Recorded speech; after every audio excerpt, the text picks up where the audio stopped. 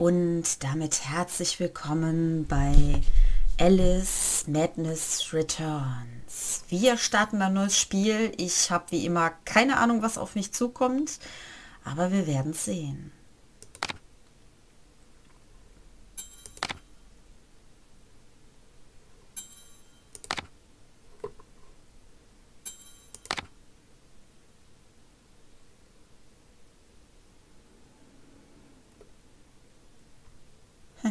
Wenn man über die Lebenden schlecht reden darf, warum nicht auch über die Toten? Ist was Wahres dran.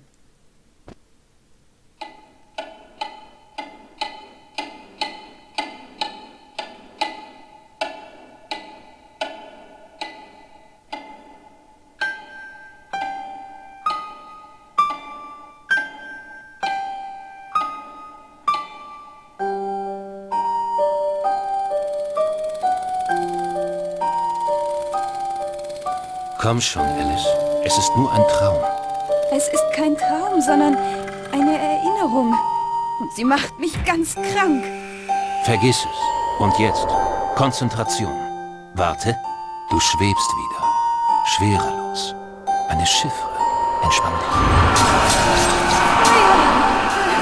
Ich bin in der Hölle. Vergiss das. Gib diese Erinnerung auf. Sie ist unproduktiv.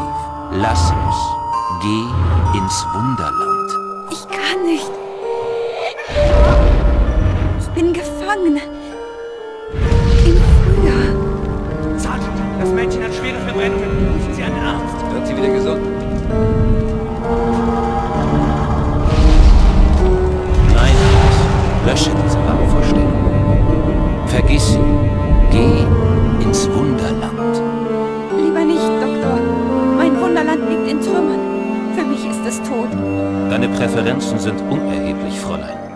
Also, Alice, wo bist du? Ich segle mit einem Freund. Hm, Es ist irgendwie anders. Alles hat sich verändert. Veränderung ist gut. Das erste Glied in der Kette des Vergessens. Was ist hier los? Verrückt geworden? Ich bin nicht verrückt. Kaninchen? Das ist nicht richtig. Was macht es da? Stimmt was nicht? Oh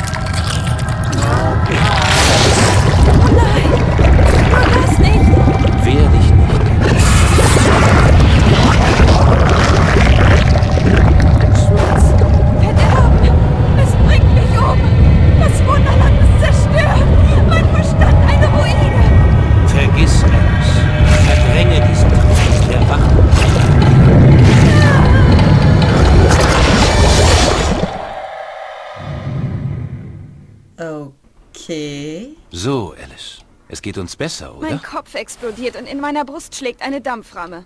Nun ja, das Vergessen fordert seinen Tribut. Von meinen Erinnerungen wird mir übel. Was kann ich... Erinnere dich an andere Dinge.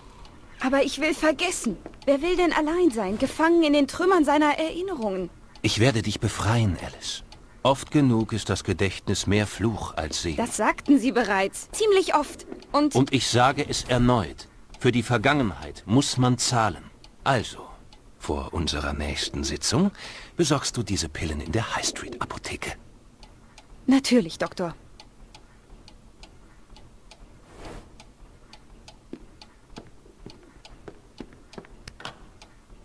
Jetzt muss ich wohl vergessen, Alice. Also, Charlie. Dein Paps wurde für den Mord an deiner Mama gehängt, die dich schlug. Lass es uns vergessen, Charlie. Die Vergangenheit ist tot, Charlie. Die Elendshütte, die Familie, die keine war, nie eine war. Du bist jetzt daheim, Charlie. Entspanne dich. Du schwebst. Hör zu. Okay. Sie sind weg. Also der Typ scheint äh, ziemlich creepy zu sein.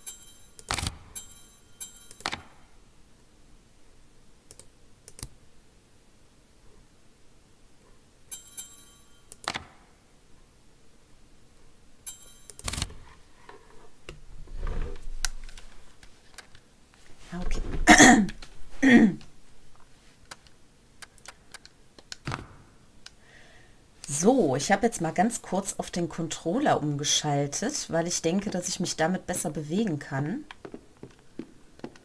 Kann man hier irgendwas... Zeigen die einen denn irgendetwas Olli an? hat meinen Schlüpfer geklaut. Trag, Liebestöter.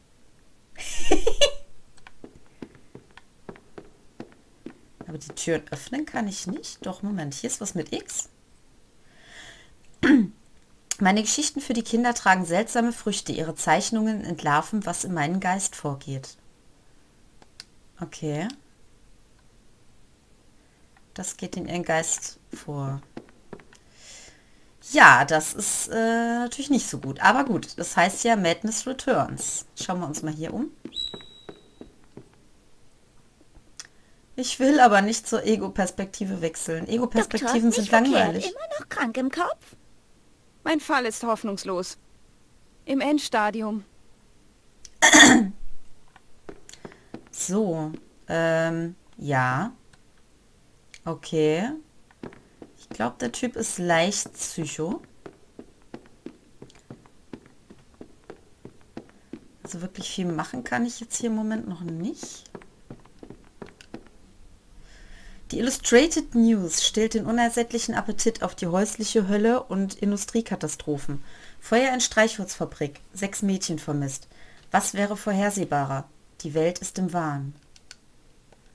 Okay. Zehn Jahre in der Klapsmühle. Keine Mama und Verwandten. Sie ist eine Waise. Also das ist die Ego-Perspektive. Vielleicht nervt er mich da jetzt mal nicht mehr mit. Was haben wir denn hier? Mr. Payne hatte keine Ahnung, wie bescheiden ein Heim sein kann. Ohne meine Bilder und Fotografien könnte das auch mein Zimmer im Irrenhaus sein. Dieses Foto meiner Familie kam per Post. Keine Nachricht, kein Absender. Ich bin sehr dankbar für dieses Erinnerungsstück, aber ich würde den Absender gern danken. Äh, ich nehme an, dass die dieses Foto da hinten meint. Weil ihre Fotos ähm, sehen dann doch ein bisschen anders aus.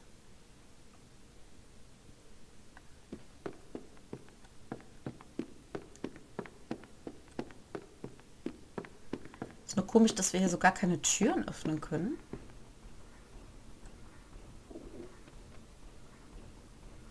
Ist das draußen? Doktors Liebling. Zu gut fürs Irrenhaus. Verrückt wie ein Hutmacher, nur nicht so charmant. Hat ihre Familie gekillt. Wer wollte die schon? Äh, hab ich meine Familie gekillt, meint ihr mich? Später, in einem anderen Traum, vielleicht. Dieser Ort ist voller glücklicher Erinnerungen. Welche meinst du denn? Du weißt schon, steht an der Ecke Butchers Alley. Kenn ich nicht. Soll ein ziemlich offenes Mädchen sein. Offen ist nicht das richtige Wort. Hat mir richtig Angst gemacht. Hab noch nie so ein biegsames Ding gesehen. Biegsames Ding, okay. Arbeitet die auch mal? Wo ist Ihre Plakette? Ist sich wohl zu fein für uns. So verschlossen. Will nicht angefasst werden. Wer will das schon? Nie geschlagen worden? Eher versohlt. Okay. Der Sandmann kommt in Zug samt Wagen. Die Fenster aus Mondlicht mit Sternennarben. Still, meine Kleinen, keine Angst in der Nacht. Der Mann im Mond hat dies Wunder erdacht. Äh, ja. Ich würde sagen, die Wand findet dieses Gedicht bestimmt sehr gut. Haben wir eigentlich eine Art Übersichtskarte oder sowas? Ich schau mal eben bei den Tasten. Okay, das ist nur die... Nee, also scheint nicht so.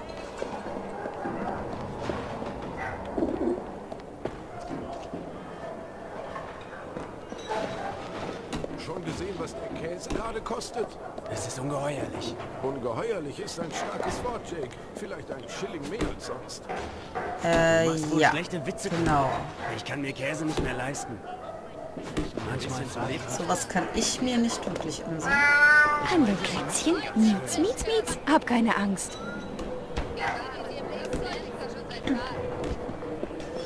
Ist die Katze jetzt ein, ein äh, Hasenersatz? Soll ich dir folgen?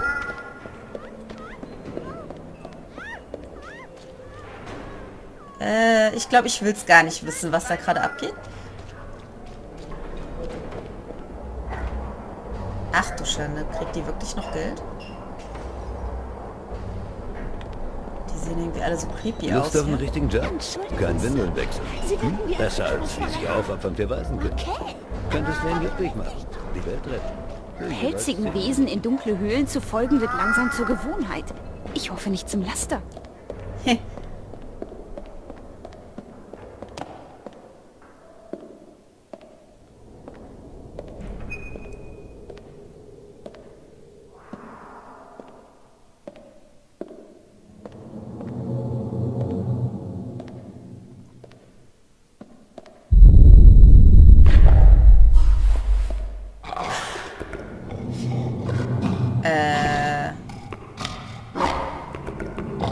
Mal einen Hase?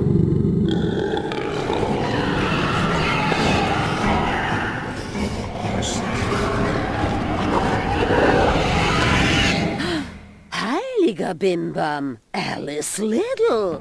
Treibst dich wieder rum, wie? Schwester Whitless. Welch ein Glück. Schon zum zweiten Mal. Ganz allein draußen? Siehst fertig aus, Liebes. Geht's dir nicht gut? Nicht wirklich. Komm doch mit und sieh dir meine Täubchen an. Hübsche Vögelchen, so wie du. Nein, lieber nicht. Unser letzter Besuch hat mich etliche Pfund gekostet und nichts gebracht. Ich könnte mich erinnern, wo dein heutiges Karnickel hin ist. Immer noch verrückt. Was Wunder. Die ganze Sippe geröstet wie Maronen vor den eigenen Augen. Zehn Jahre in Rutledge und das alles für die Katz. Dr. Bambi schafft's auch nicht. Friemelt an den immer gleichen Fragen rum. Das Feuer, ihre Erinnerung. Ah, ich kann's nicht mehr hören. Ich verdiene Anerkennung oder etwa nicht? Wer hat ihr neue Kleider besorgt, ihr einen Platz bei Bambi verschafft? Wo wäre sie denn ohne mich? In der Gosse. Ihren Hintern verkaufen. Aber sie mag meine Täubchen. Spuckte tatsächlich mal ein Pfund aus oder so. Aber was ich weiß, ist viel mehr wert. Hab sie schließlich nicht verraten. Hab sie sagen hören, alle meinetwegen gestorben, ich konnte euch nicht retten. Hab ihr gesagt, mein Schweigen ist zu kaufen. Echt günstig. Bin guter Mensch, ehrlich. Nicht wie ihre Nanny, diese hochnäsige Hure. Oder dieser Anwalt Radcliffe, der ihr das blöde Karnickel wegnahm. Brauch Kohle. Hab sie gewarnt, dass ich den Bullen sag, wenn sie meinem Spendenaufruf nicht folgen tut. Sie kreischt und spielt total verrückt. Vergisst den eigenen Namen manchmal, hab ich gehört. Na, die hat ja tolle Wertvorstellungen, die alte.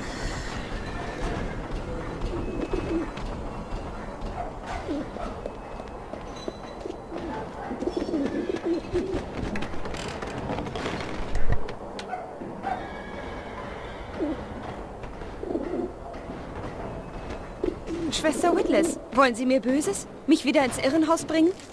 Was soll ich sagen? Meine Güte, hab ich einen Durst. Brauch was zu trinken. Muss mir dringend die Kehle befeuchten.